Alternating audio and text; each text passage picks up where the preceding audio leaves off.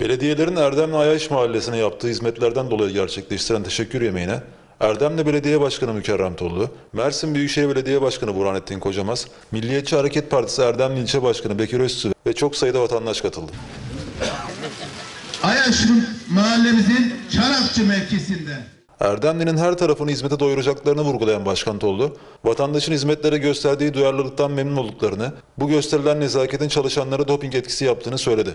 Cenab-ı Hakk'ın yarattığı en değerli varlık olarak gördüğümüzü söyleyip Cenab-ı Hakk'ın yarattığı en değerli varlığın hizmetkar olacağımızı söyledik.